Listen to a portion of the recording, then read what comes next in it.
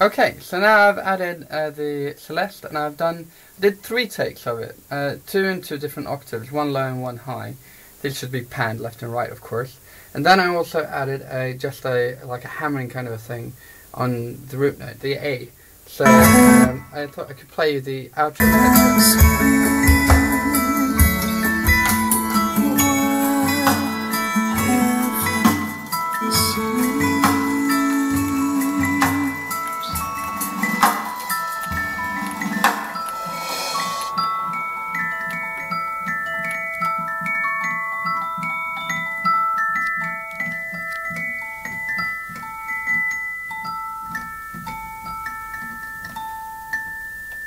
And it falls apart in that kind of really wonderful way that I that I love.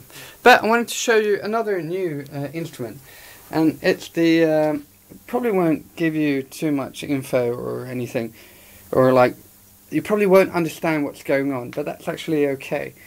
This is a Maas-Rowe uh, vibra Vibrachime, and this is like a uh, add-on kind of a thing for a church organ. And it's a tube-driven thing from the uh, early 50s. And I bought this from a church in Pittsburgh. And it's uh, the idea is that you've got your organ player in the church playing along nicely, and then when it comes to that climax, when he really wants to push it and like give it his all, well then he just grabs over to the Mas Rowe Vibrachime and goes. And these are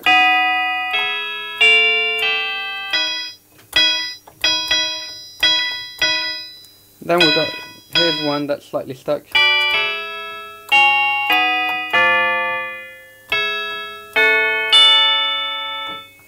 And uh,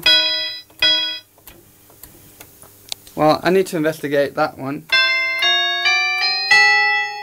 But uh, well, it, they're like a, a, mini miniature set of church bells, and uh, I've already used them with Matti and on some like horror film stuff. But um, now I'm going to use it for the outro section. I think if I get the uh, what is it a B to work, but I'll let you know. All right.